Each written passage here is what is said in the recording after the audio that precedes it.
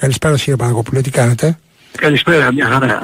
Να επισημάνω το εξής. Αντιμετωπίζουμε, να το δούμε αλλιώς κάτι που δεν έχει φύξει κανένα σε αυτό το θέμα με τον προπονητή, με τον βοηθό προπονητή. Ναι. Λένε ότι δεν μπορούν παρότι είναι υποχρεωσή τους να έχουν βγάλει αφημί, να έχουν κάνει διάφορα, δεν ξέρουμε αν υπάρχει κάνει offshore εταιρεία, που τι συμφωνίες, αν δεν δούμε τα συμφωνητικά κλπ. δεν ξέρουμε τι γίνει. Ναι. Πώς πληρώνονται οι υπόλοιποι κλπ. Αν υποθέσουμε λυθεί η συνεργασία με τον Πογέτ και ο βοηθός προπονητής προσφύγει στη FIFA και δικαιωθεί, πού θα πληρώσουν τα χρήματα στην ΕΠΟ; Σωστό και αυτό. Το έχετε σκεφτεί αυτό. Τι- τι- αφού, τι δεν περιμένει- έχει, αφού δεν έχει ελληνικό αφημί. τι την περιμένει την Ομοσπονδία, το έχετε καταλάβει. Και το λέω αυτό, γιατί αυτή η προσκυρότητα που αντιμετωπίζουν τα νομικά θέματα και τα δικαστικά, τα λέω για εξ εμπειρίας προσωπικής. Ε, προς, τελευταία δικαιώθηκα για τον προπονητή Μιχάλη Ξημεράκη, προπονητή των κλιμακίων, των εθνικών ομάδων, ένας χρόνια συνεργαζόμενος, τον οποίο τον ρίξανε, δεν τον πληρώναν, δεν τους φτιάχναν συμφωνητικά σωστά και, Η και, ΕΠΟ. και, μας- Η ΕΠΟ, έτσι. και αναγκαστήκαμε να καταφύγουμε στο Ειρηνοδικείο Αθηνών και με τα χίλια ζόρια να μας επιδικάσουν βάσει αδικαιολόγητου πλουτισμού ένα ποσό, όχι όλο το ποσό που οφείλαν να το δώσουν όλα. Εν πάση περιπτώσει πήραμε ένα ικανοποιητικό ποσό, μας κάνανε και τις παρακρατήσεις χώρου και λοιπά, να ήταν καθαρά τα χρήματα και εν πάση περιπτώσει ο άνθρωπος λέει να γλιτώσω από αυτούς να ξεμπλέξω. Παράλληλα, έχω δεύτερη δικαστική διένεξη με τον άλλο προπονητή, τον κύριο Πιέρο Θωμάκο, που ήταν προπονητής Πάλι ε, με στο την κίνητο- ΕΠΟ. Πάλι με την των- ΕΠΟ. Των Ναι. Ακαδημιών της ΠαΕ Πανιόνιος, αλλά Άλλη, τι έγινε; ναι. Κάναμε κατασχετήριο στο Solidarity που διαχειρίζεται η από την UEFA. Εκεί να δείτε ξεφτύλες. Και έχουν παρακρατήσει τα λεφτά παράνομα και είμαστε στα δικαστήρια επί 3-4 χρόνια τώρα. Ε, έχει τα χρήματα ο άνθρωπος και το Solidarity από τότε που έπεσε ο Πανιόνιος και τα διαχειρίζεται η ΕΠΟ χωρίς να ξέρει κανένας που τα Καλά, δίνει. και, δε, και δεν τα δίνεις στον άνθρωπο που έχει, έχει, έχει Ενώ τα δικαιωθεί. χρήματα, τα χρήματα υπάρχουν, τα έχουμε καταγγείλει πολλαπλά, έχουμε κάνει δικαστήρια, έχουμε κλπ.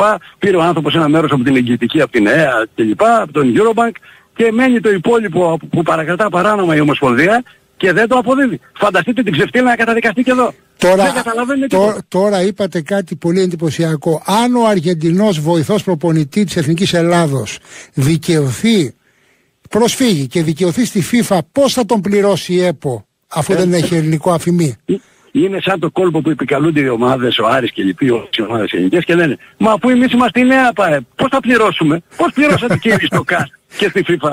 Δηλαδή εκεί είστε οι νέοι, είστε οι νέοι και εδώ είστε οι παλιοί.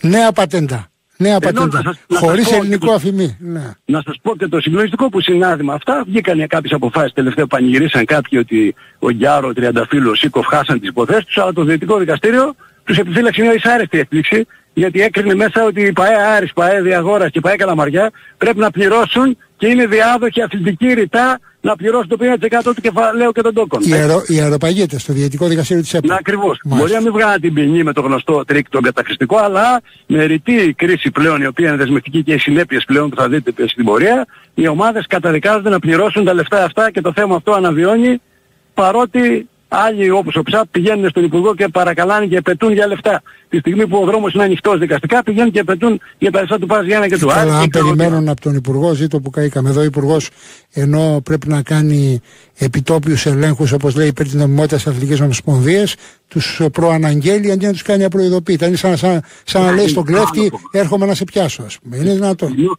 ενώ τους έχουμε κάνει καταγγελίες για τους κανονισμούς π.χ. για τον έλεγχο νομιμότητας που σας είπε και ο κ. Μαλάτος, σας έχω πει και εγώ και άλλοι. Πού είναι ο έλεγχος νομιμότητας των κανονισμών. Πώς γίνεται να λειτουργούν παράνομα όργανα; Η ΕΕ να λέει ότι είναι παράνομοι οι αεροπαγίτες. Οι αεροπαγίτες δεν με εκτελούν τις αποφάσεις της ΕΕ να σου λένε γιατί πήγες εκεί. Ε, αυτά είναι αδιανόητα. Και δεν έρχεται ένας υπουργός, ένας γραμματέας αθλητισμού να κάτσει κάτω να εφαρμόσει πέντε πράγματα στοιχειώδη. Να κάνει ένα κανονισμό, να κάνει ένα νόμο ο οποίος θα συνάδει τους κανονισμούς. Να υπάρχουν πέντε πράγματα τα οποία να μην είναι σε αντίκρουση από το χάλι. Και βλέπετε τώρα που φτάνει αυτή δυστυχώς η ΕΠΟ με πρόεδρο δικηγόρο πάλι τον κύριο Μπαλτάκος, στον οποίο είχαμε επισημάνει και το θέμα του Θωμάκου και το θέμα του Ξημεράκη και το θέμα των χρόνων. Σε όλα ποιοι την ήσαν. Λέει δεν βγαίνω το ρυθμό μου λέει ο κύριος Μπαλτάκος. Ο φίλος Ναι. ο Τάκης ας πούμε γιατί είμαστε συνάδελφοι και φίλοι και γνωστοί τόσα χρόνια και, και ο άνθρωπος μας έχει δεχτεί στο γραφείο του και λέει ναι ναι ναι. Μόνο θα τα που πω. ο ρυθμός του παρασέρνει προς τα κάτω το ελληνικό ποδόσφαιρο, Ναι ξέρω. αλλά ο κύριος Γραμμένος τον κατηγόρησε για αριθμία. Ναι, το είπε, το είπε ανοιχτά ο κ. Γι' Γραμμένο. αυτό λέω στην εκπομπή σας. Ε, Ο κύριος ε, Μπαλτάκος λέει ότι πηγαίνει με το ρυθμό του, ο κύριος Γραμμένος λέει αριθμία. Βέβαια ο κύριος Γραμμένος είχε άλλα που καταλογίζαν. Εν πάση αυτός έρχεται ένας πρώην πρόεδρος, ο οποίος λέει, καταλογίζει αριθμία στον Στο, νέο στον πρόεδρο. επόμενο, στον επόμενο. Ε, εν πάση αυτός- Τώρα, αυτή είναι επειδή η βλέπω του πολλές Ομοσπονδίας. ερωτήσεις ακροατών και ίσως δεν, ίσως δεν έγινε και κατανοητό ε, και το, το καταλαβαίνω γιατί και σύνθετο το θέμα. Πράγματι, εμείς δεν λέμε και νομίζω ότι είναι σαφές πως πρέπει να έχει ελληνικό αφημί ο συνεργάτης του Πογκέτ. Όμως υπάρχουν κάποια ερωτήματα. Για παράδειγμα, επί 15 μήνες πώς πληρωνόταν αυτός ο άνθρωπος, πώς προσελήφθη χωρίς ελληνικό αφημί; Άμα δεν γνωρίζουμε τις συμβάσεις, τι έχουν υπογράψει οι προπονητές και λοιπά, πώς αμείβονταν, τι γίνεται. Και τόσο καιρό γιατί δεν μιλούσε βέβαια, ούτε αυτός ούτε ο κ. Πογέτ. Και αυτό ας πούμε είναι εις βάρος. Αλλά τώρα βγαίνει και ξεγυμνάνει την Ομοσπονδία. Καλά, ο Πογέτ, ο Πογέτ το έκανε για συγκεκριμένο λόγο, διότι πιέζει να ανανεωθεί το συμβόλαιό του από τώρα και όχι το Μάρτιο. Ναι, με αυτό που έκανε είναι τελειωμένος. Ας πούμε έρχεται ο Σάντος, ε, έχει πάρει το δρόμο και έρχεται. Να, είναι στο, είναι στο δρόμο λέτε. ε, και, θα, και θα έχουμε και φορτούνη από δίπλα από ό,τι βλέπω. Ε, σίγουρα. Το θέμα είναι, το, με αυτό που έκανε, είναι δυνατόν να εκθέτει την Ομοσπονδία έτσι. Είναι φάουλ μεγάλο και αυτό έτσι. Να κάνεις άλλους τρόπους νομικούς, ας έκανε μια προσφυγή στη FIFA και δεν είναι ιστορία. Απλά και ωραία. Και ναι. φεύγουν οι άνθρωποι. Και όχι αυτή τη Κοιτάξτε, εγώ διαφωνώ πλήρως και με τη χρονική στιγμή όπου εκεί έχει και ευθύνη η ΕΠΟ, ε. διότι το είπε και ο κ. Γραμμένος χθες το βράδυ στην τηλεοπτική δίκη. Δεν είναι δυνατόν να μην διαχειρίζεσαι αυτό το θέμα και να το αφήνεις να βγαίνει εκτός ομοσπονδίας. Το άφησε να σκάσει. Ναι. Όπως αφήνουν όλα τα θέματα να σκάσουν και υπάρχουν συνέπειες και απ' έξω γίνονται κινήσεις και μας ψάχνουν σε πολλά θέματα. Και αν σκάσουν όλα αυτά, ε, όχι μόνο για τα στημένα και για τα υπόλοιπα, τότε θα κλαίμε μαύρο δάκρυ και θα λέμε τι κάνατε τόσο καιρό και γιατί αφήσατε να σκάσει βόμβα στα χέρια σας. Ε. Ναι. Τώρα, επειδή ε, είχαμε σήμερα ε, μία αναφορά στο πολιτικό δελτίο ειδήσεων, τώρα πόσο συνδέω θα το διαπιστώσετε αμέσως, ε, ότι οικοδομούμε μέτρα ε, εμπιστοσύνης, ε, παίρνουμε μέτρα οικοδόμησης εμπιστοσύνης Ελλάδα-Τουρκία. Και μέσα στο πλαίσιο αυτών των μέτρων υπάρχουν και αθλητικοί αγώνες μεταξύ της Ελλάδας και της Τουρκίας. Συμπτωματικά έχουμε και κάτι άλλο κοινό μεταξύ μας. Ότι είμαστε οι πρωταθλήτριες χώρες στην Ευρώπη στα χρέη. Στα χρέη προς τους uh, παίκτες. Έτσι. Τώρα θα χρωστάει και ομοσπονδία, μια χαρά. Ε, είναι ε, λίγο δύσκολο να οικοδομήσει εμπιστοσύνη όταν χρωστάς, όταν χρωστάς στους πάντες, ξέρετε. Ναι. Αυτό μου θυμίζει και την, την περιβόητη συνδιοργάνωση, οι περιοδίες Γκαγκάτ. Θυμόστε που λέγαμε τότε για τη συνδιοργάνωση στην Ελλάδα-Τουρκία που γίνει το τεράστιο πολιτικό θέμα, έτσι ήταν πρώτο. Τώρα είχαμε ναι. για Σαουδική Αραβίας και τότε είχαμε το θέμα με την Τουρκία, ας πούμε. Ναι, βέβαια, βέβαια, βέβαια. Και θα παίρναμε το Euro και ξέρω τι άλλο, Μουντιάλ και τι άλλο διεκδικούσαμε. Το θέμα είναι ότι ωραία είναι τα μέτρα οικοδόμησης εμπιστοσύνης κλπ. Αλλά εδώ ο κόσμος καίγεται που λέει κυριολεκτικά και πας τώρα να κάνεις τώρα με τους κοροϊδές και τι αγώνες με ποιους, σαν το Αβγενάκι, τις γιορτές και τα πανηγύρια. Τι θα είναι αυτά, βρούτσιες διοργανώσεις, με, με, με, με ποια σκοπιμότητα. Και έτσι θα οικοδομήσει την... Καλός είναι ο αθλητισμός, δεν λέω, παντού ενώνει, αλλά κάποια πράγματα είναι κυριολεκτικά υποκριτικά Εντάξει, τώρα, τώρα μας ενδιαφέρει το γεγονός ότι υπάρχουν πάρα πολλοί απλήρωτοι ποδοσφαιριστές στην Ελλάδα που είναι παγκόσμια πρωταθλήτρια στα χρέη προσπέκτες. Όπως, όπως ξέρετε, μόλις ακούει η Ελλάδα, Τουρκία ας πούμε και δύο-τρεις άλλες χώρες, ε, βγάζει σπυράκια. Έτσι, γιατί αυτή είναι το πρόβλημα. Αυτοί είναι που δημιουργούν όλη την ιστορία του παγκόσμιου ποδόσφαιρου. Αυτοί είναι που δεν τηρούν, αυτοί που παραβιάζουν τις διατάξεις, αυτοί που κάνουν παράνομες αδειοδοτήσεις, που εφευρίσκουν κόλπα και αφημί και αλλαγές και, και χίλια δυο. Εμείς είμαστε βασικά οι πρώτοι διδάξαντες και ακολουθούν όλοι οι άλλοι. Από ναι. πέρα... Γιατί είχαμε τώρα πρόσφατα μία υπόθεση με ομάδα της Σερβίας ε, ε, που με το που απειλήθηκε ότι δεν θα μετάσχει στις μεγάλη ομάδα της Σερβίας που απειλήθηκε ότι δεν θα μετάσχει σε ευρωπαϊκές διοργανώσεις αμέσως πλήρωσε όλες, όλες τις οφειλές. Δηλαδή ε. φαινόμενο τέτοιο ούτε στα Βαλκάνια δεν έχουμε ε, τόσο κραυγαλαίο όπως στην Ελλάδα. Να θα αποκαλύψω και κάτι που είναι συνταρακτικό έτσι. Αλλά υπάρχουν και ρήτρες εμπιστοσύνης κλπ. Έχουν καταδικαστεί ελληνικές ομάδες, έραση τεχνικές. Μία από αυτές είναι η Καβάλα. Άλλη μία είναι η Ρόδος. Έχουν καταδικαστεί οι εραστεχνικές ομάδες με απαγόρευση μεταγραφών από τις ε, επιτροπές της FIFA κλπ. σύμφωνα με τη διαδικασία που ακολουθείται, με τους κανόνες αθλητικής διαδοχής συγκεκριμένα άρθρα και λοιπά αυτά που εμείς κάνουμε εδώ πέρα και βγάζουμε δεν ξέρουμε τι, τι είναι και τι ψάχνουν να βρουν οι δικαστές να καταλάβουν τι συμβαίνει. Με τους κανόνες λοιπόν της αθλητικής διαδοχής καταδικάστηκαν τα αεραστεχνικά σωματεία να πληρώσουν τα χρέη των ΠΑΕ. Και αναγκαστήκαν, σας πληροφορώ, και τα πληρώσαν για να μην ανακριθούν τα δελτία τους. Μάλιστα. Και έρχομαι εγώ τώρα που εκπροσωπώ Έλληνες και διαμαρτύρομαι στην Ομοσπονδία και τους λέω με συγχωρείτε. Θα σας τραβάω μέχρι και που δεν παίρνει. Τι, γιατί εφαρμόζεται για τους ξένους την απαγόρευση μεταγραφών κλπ. για το ίδιο θέμα και για τους Έλληνες συμπαίκτες ή άλλους παλαιότερους δεν εφαρμόζεται την ίδια διαδικασία. Θέλω να πω όμως ο κίνδυνος είναι γιγάντιος γιατί πλέον τα αεραστεχνικά σωματεία επιστρέφουν στο καθεστώς εκείνο που είχαν κατοχυρώσει το 2010 με τις αποφάσεις που είχαν βγάλει για τον Ηρακλή, που υπανήλθε τώρα με τον Μάρα, για το Εγάλεο, για διάφορες άλλες ομάδες που έχουν καταδικαστεί τα αεραστεχνικά σωματεία και επενεύει και ο Σπιλάβιος με μια πραξικοματική απόφαση και είπε καταργώ τις αποφάσεις του Διευθυντικού Δικαστηρίου και διατάσσω από ό,τι πέρα το δικαστήριο να βγάλει τις αποφάσεις. Και έτσι σταμάτησε η νομολογία εκείνη του περίοδου 10-11 που το Διευθυντικό Δικαστήριο χωρίς τακτικούς δικαστές έβγαζε πρωτοποριακές αποφάσεις επικαλούμενους, τι, επικαλούμενο τις κοινοτικές οδηγίες τον αστικό κώδικα περί μεταβάσεων επιχειρήσεων και το προεδρικό διάστημα. Και χωρίς τακτικούς δικαστές. Ε, και χωρίς, και χωρίς τακτικούς. Ναι. Με τον Μακαρίτη, τον Πινακούλα πρόεδρο και τον κύριο Μαζάρα. Και με μέλη, εκλεκτά μέλη δικηγόρων, οι οποίοι έκαναν καριέρα. Μετά η κυρία Σουλούκου και, και, και, και άλλοι, οι οποίοι ήταν τότε νεαροί δικηγόροι νομίζω και ο Ζησάνδρου και άλλα παιδιά βάσει που είχαν περάσει στις επιτροπές και οι οποίοι εξελίχθηκαν μετά στην δικηγόροι. Τώρα, να, για, να πάμε, για να πάμε στο διεθνές δίκαιο, επειδή αυτό τουλάχιστον πρέπει να το ρωτήσω. Ε, ξέρετε, μετά την υπόθεση του ντέρμπι των αιωνίων, ο Ολυμπιακός λέει πάω κας. Βέβαια και άλλες φορές έχει υποθεί το Πάμε Κας, ας πούμε στην περίφημη υπόθεση της φερόμενης πολυδιοκτησίας, επίσης ο Ολυμπιακός είχε πει θα πάω Κας και δεν πήγε. Ε, η ΑΕΚ είχε πει θα πάω Κας με τον Ατρόμητο με τη Μεζούρα, δεν πήγε. Βέβαια εκεί εξελίχθηκε το μάτς, κέρδισε και ενδεχομένως άλλαξε, ναι, άλλαξε, δεν είχε αντικείμενο η προσφυγή. Ε, τώρα λέει ο Ολυμπιακός ε, θα, θα, θα προσφύγουμε στο, στο ΚΑΣ. Όταν για τέτοιες υποθέσεις που δεν είναι ακριβώς διαιτικές διαφορές, είναι μια πειθαρχική απόφαση, είναι μια ποινή για τη ρήψη μιας κροτίδας, έτσι. Ε, πηγαίνουμε στο ΚΑΣ δεν είναι λίγο ψιλοπίδημα. Έχει το δικαίωμα, δεν μιλώ για το νόμιμο δικαίωμα, ασφαλώς και το έχει. Δικονομικά προβλέπεται να πας. Ναι, ασφαλώς.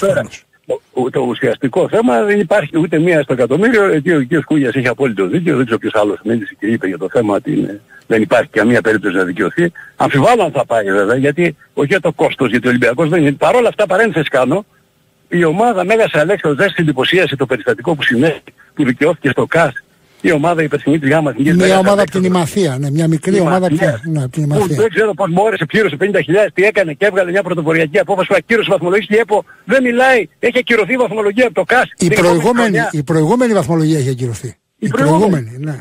Στην τρίτη κατηγορία. Τώρα, ναι, απίστευτο. τότε την ιστορία με τον Αγροτικό Αστέρα, με τις άλλες ομάδες, τι γινόταν, ας πούμε τον Μπάχαλο. Και, και αυτή μα, μα να σας πω κάτι τώρα στην περίπτωση του Ολυμπιακού.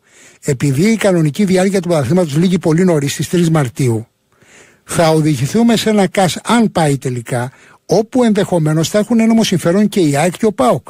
Έχουν, ναι. Ε, και θα πω θέλουμε να παραστούμε και εμείς ανεξαρτήτως της εξέλιξης. Θέλω δηλαδή, να πω έχουμε φτάσει να παίζουμε μπάλα πια ναι. στα δικαστήρια αν, αν αυτό το πράγμα φτάσει εκεί, γιατί ο Ολυμπιακός δεν το αποκλεί από λόγους εγωισμού, να πάει ας πούμε έτσι. Δηλαδή ξέρει ότι δεν θα κερδίσει, αλλά να πάει για να πει ότι το έκανε και λοιπά και να τραβάει το πρωτάθλημα να υπάρχει να είναι ανοιχτή η ιστορία όλη αυτή. Έτσι, να το έχει σαν uh, διαπραγματευτικό εμπάσεο του, ότι έκανε την ενέργεια, ότι προχώρησε, ότι το άφησε έτσι για τον κόσμο και για επικοινωνιακούς ναι, γιατί έχει δεσμευτεί. Ναι. Ναι. Να πάει ο Ολυμπιακός να έχουμε φτάσει μήνα Απρίλη-Μάη, Απρίλη, εν πάση περιπτώσει κάπου στους 3-4 μήνες, ε, γιατί μετά, ακόμα δεν την έχει ασκήσει τις 21 μέρες την προσφυγή του, εν πάση περιπτώσει ας υποθέσουμε ότι εξαντλούνται τα και φτάνουμε το διάστημα εκείνο, το διάστημα των play-off που και οι τέσσερις θα καίγονται, έτσι, και οι τέσσερις ομάδες και ενδεχομένως και οι τέσσερις να είναι και στο... Μα αν φτάσουμε εκεί, με συγχωρείτε. Να είναι και στο conference. Μα... Να είναι και στο conference. Ναι, ναι, να είναι και οι τέσσερις στο conference. Δηλαδή και να φτάσουμε εκεί και να μπορούμε να παίξουμε play-off το POX ή το ΠΑΟΚ να είναι στην Ευρώπη σε όλα τα επίπεδα. Δηλαδή θα είναι τραγική ηρωνία έτσι. Ε, κοιτάξτε. Αυτό, λέγεται, αυτό λέγεται πανολεθρίαμβος. έχουμε, έχουμε σοβαρό κίνδυνο, σοβαρό κίνδυνο να φτάσουμε στο σημείο να περιμένουμε την απόφαση του ΚΑΣ και να μην μπορούμε να αρχίσουμε τα play-off. Πολλά έργα. Πολλά Αυτός είναι ο πιο σοβαρός κίνδυνος. Γιατί ναι. όσο εκκρεμωδικεί κάτι στο ανώτατο αθλητικό δικαστήριο της Λοζάνης σημαίνει ότι δεν έχουν εξαντληθεί τα ένδικα μέσα. Άρα λοιπόν δικαίως δεν μπορείς να ξεκινήσεις playoff. Φανταστείτε αυτό το ενδεχόμενο. Θα υπάρχει, θα υπάρχει κρεμότητα και εν ούτως ή άλλως θα είναι ένα θέμα ανοιχτό. Ούτως ή άλλως. Το θέμα, αν θα κάνει ο Ολυμπιακός αυτό, δεν το αποκλείω την έννοια της κόντερα και εν του τοξικού κλίματος που επικρατεί, να το φτάσει να το τραβήξει για να έχει στους άλλους αγώνες, να το δημιουργεί όλο τον χρόνο και όταν φτάσει εκεί, πολλά είχαμε δει. Και σε, μια στιγμή, και σε μια στιγμή που είναι ανοιχτά πολλά δικαστικά ζητήματα. Είναι η έρευνα του Αριού Πάγου για τη διαφθορά, είναι το κύκλωμα παράνομου στοιχηματισμού, είναι αυτό που αποκαλύψαμε χθες το βράδυ στην τηλεοπτική δίκη ότι τέσσερις παράγοντες της ΕΠΟ προεξάρχοντος του Προέδρου της, του πρώην Προέδρου ε. του κ. Κυρτζίκη οδηγούνται στο εδόλιο για, τα, για, για την περίφημη διπλοπληρωμένη οφειλή, δεν έχει ξαναγίνει αυτό, χρωστούσε 3,5 εκατομμύρια η ΕΠΟ και τα πλήρωσε δύο φορές. Ναι, αυτό... Δεν υπάρχει αυτό, είναι η υπόθεση travel plan.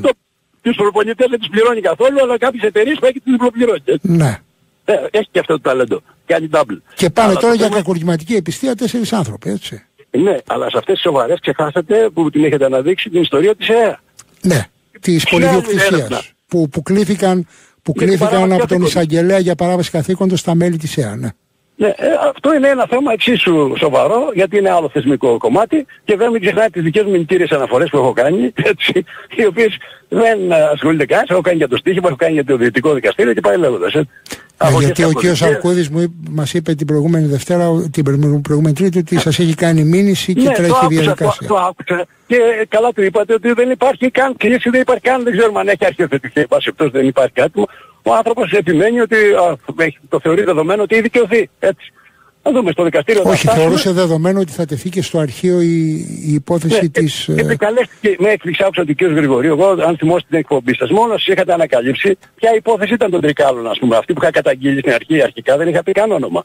Τώρα στην πορεία αποκαλυφθήκανε μόνοι τους, από εκεί και πέρα, τι έχει καταθέσει ο κ. Γρηγορίου και λοιπά. Αυτά είναι θέματα της δικογραφίας και λοιπά. Ε, Ούτως ή άλλως. Θα τα δούμε στην πορεία, αν φτάσει το ακροατήριο. Από την άλλη μεριά όμως δεν μπορεί να λέει ο κ. Σαρκούδης, με τον οποίο εντάξει, ο άνθρωπος πηγαίνουμε, έχει κάνει πάρα πολλά, ας πούμε, ήμασταν σε μια κόντρα διαρκείας, δεν είναι, είναι θέμα προσωπικό, θεσμικό είναι καθαρά.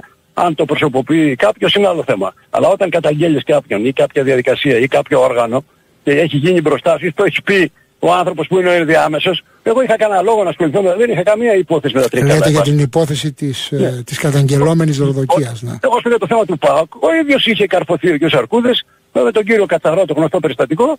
Δεν είναι μόνο ότι η απόφαση βγήκε την ώρα του αγώνα και λέει και τον πιστεύω ότι δεν ήξερε και δεν είναι υποχρεωμένοι να ξέρουν και τα προγράμματα. Αυτό α, είναι ένα θέμα. Αλλά να λες σε συγκέντρωση του ΣΥΡΙΖΑ μπροστά σε 150 άτομα, εγώ θα ρίξω τον ΠΑΟΚ και να μην το διαψεύσει ο ίδιος. Έβασε αυτός και ο Κατσαρός να το κάνει μηνύση. Τον κύριο Κατσαρό να κάνει μηνύση, ο οποίος είχε καταγγείλει αυτό ότι εγώ θα Ε, ρίξω το τον ΠΑΟΚ. μέλλον, ναι, να διευκρινίσουμε ότι το μέλος του ΣΥΡΙΖΑ πράγματι είχε καταγγείλει ότι άκουσε τον κύριο Αρκούδη να λέει να, να προαναγγέλει σε μια ε, σύναξη, σε μια κεντρική επιτροπή του, του ΣΥΡΙΖΑ ε, να, να, να λέει ότι ποια θα είναι η απόφαση για, την, για το θέμα της φερόμενης πολιτιοκτησίας του ΠΑΟΚ. Ναι. Ε, Αυτό το είπε πριν. Αυτό Ε, είναι άλλη αλήθεια. βέβαια. Αυτό είναι αλήθεια. Άρα λοιπόν ο κ. Σαρκούδης δεν θα πρέπει να με μηνύει εμένα και λοιπά και να εξανίσταται γιατί κάτι που μου είπε κάποιος άλλος. Καλά, Τον μπορεί οποίο- να υποστηρίξει ο κ. Αρκούδης ότι ο κ. Κατσαρός δεν λέει την αλήθεια και ότι Μα, πρέπει αν να θα το ελεγχθεί. κάνει, με Αλλά νοιάζει. επειδή Μα, ήταν το- πολλοί άνθρωποι μπροστά, φαντάζομαι είναι εύκολο να σε διασταυρωθεί. τόσο- Σε τόσο σοβαρό θέμα και δεν του έκανε τότε που αναφέρει και δεν ξέρω αν ο Πάοκ το αξιοποίησε αυτό στις μηνύσεις του κλπ.